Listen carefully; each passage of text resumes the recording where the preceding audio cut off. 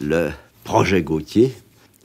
C'est cet instrument juridique par lequel, très brièvement, les États s'interdiraient de recourir à la torture ainsi qu'à tout autre traitement cruel, inhumain ou dégradant, ce sont les termes officiels, mais surtout par lesquels ils s'engageraient à ouvrir leur prison pour des missions de visite, de routine, faites par différents délégués désignés par une instance internationale impartiale.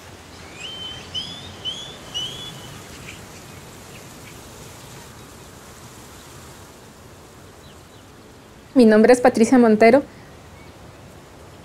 Tengo 45 años de edad y soy abogada. Desde hace 17 años trabajo en la Defensoría de los Habitantes de Costa Rica y desde hace casi tres años trabajo en el equipo del Mecanismo Nacional de Prevención de la Tortura.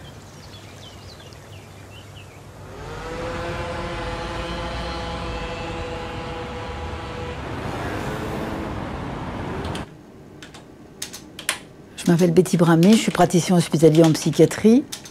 J'ai travaillé pendant 20 ans comme psychiatre en milieu pénitentiaire et depuis septembre 2008, je suis détachée au contrôleur général des lieux de privation de liberté.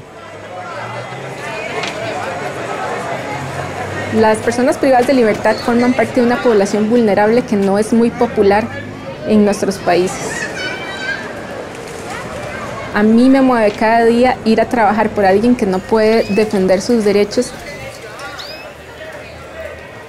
requiere de un trabajo con las autoridades que tienen a cargo los centros de privación de libertad para decirles que no somos sus enemigos, sino que somos órganos colaboradores.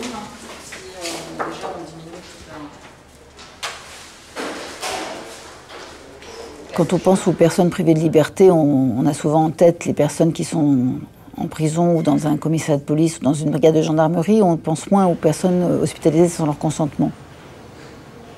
Il est clair que nos visites nous ont permis de voir que les personnes hospitalisées sans leur consentement dans les établissements de santé étaient aussi vulnérables, voire davantage.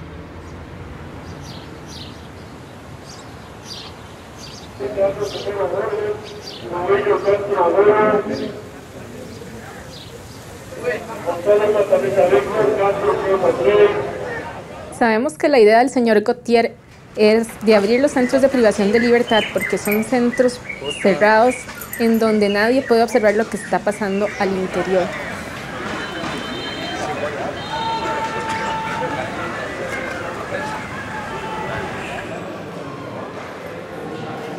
Si los centros se abren a mayor número de visitas,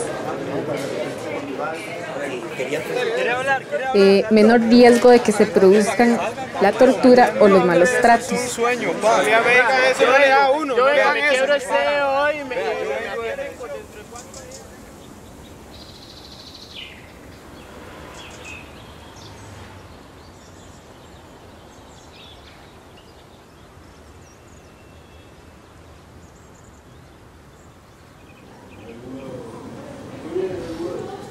Par définition, euh, les maltraitances se font, euh, par exemple, dans des, dans des chambres d'isolement sans qu'on puisse le savoir.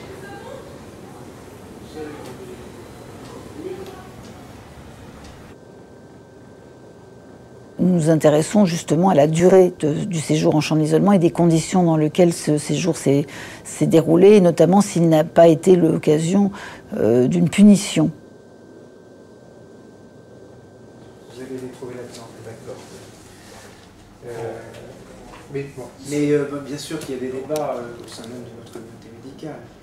Le contrôleur général des privations de liberté est une institution jeune qui a trouvé sa place progressivement dans le paysage, même si au départ les professionnels avaient une certaine méfiance vis-à-vis des contrôleurs lorsque nous arrivions dans les établissements. Aujourd'hui, un certain nombre de, de directeurs considèrent l'arrivée des contrôleurs comme un plus, comme une forme d'audit qui peut les aider à mieux travailler, à mieux comprendre eux-mêmes le fonctionnement de leur institution.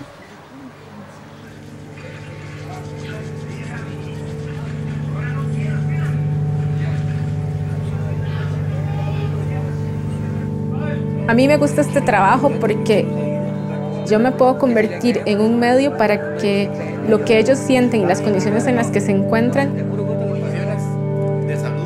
yo pueda expresarles a las autoridades que tienen a cargo los centros para buscar soluciones y mejorar el trato que se le da a las personas privadas de libertad. En tout cas, une chose dont je suis conscient, c'est que je ne travaille pas pour ma génération. Je ne verrai pas, tant que je serai dans ce monde, des progrès considérables pour cette affaire. Je travaille pour les torturés du 21e siècle et pas pour ceux du 20e siècle.